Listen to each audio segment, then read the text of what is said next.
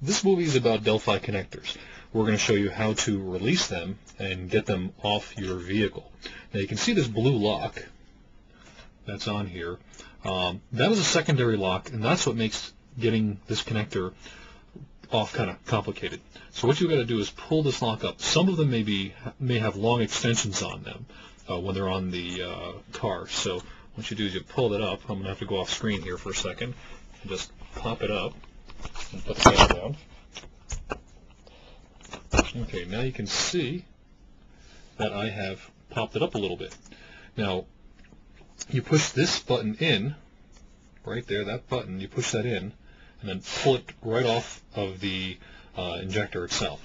So, actually, removing it, sometimes giving a good pull, will actually remove the lock.